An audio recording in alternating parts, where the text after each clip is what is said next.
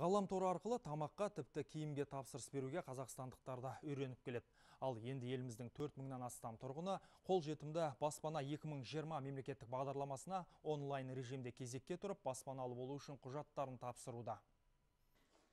Асылхановтар отбасы бүгін самұрық қазына жылжымайтын мүлік қорына құжаттарын өткізуге келді. Олар интернет арқылы ресми сайтқа кіріп 29 қыркүйек пен 14 қазан аралығында қолжетімді баспаны 2020 мемлекеттік бағдарламасы бойынша кезекке тұру мүмкіндіктері бар екенін білген.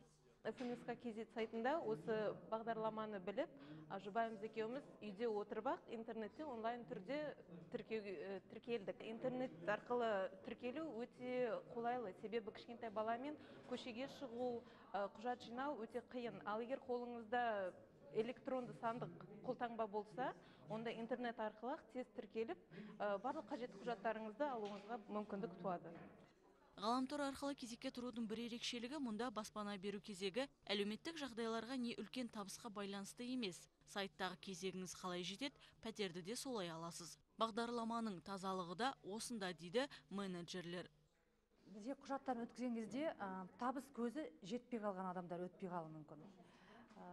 Сол бізге олар жаңа банктен справка мысап алып келеді ғой. Сол кезде біз уже көреміз уже. Әр адам табысы жете ма жетпей ма айлық төлеміне?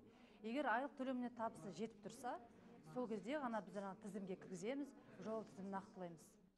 Жалпы бүгінде интернет арқылы төрт мыңнан астам азамат кезекке тұрса соның ішінен келесі кезеңге өткендер асыл арман кешенінен өздеріне ұнаған пәтерлерін таңдайды.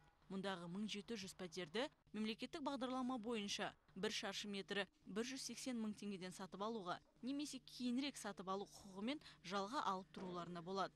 Бүгінге дейін интернет арқылы кезекке тұрып уақытында құжат тапсыра алмағандар жаңа жылдан кейін осы бағдарламаның екінші кезеңіне қатыса алады.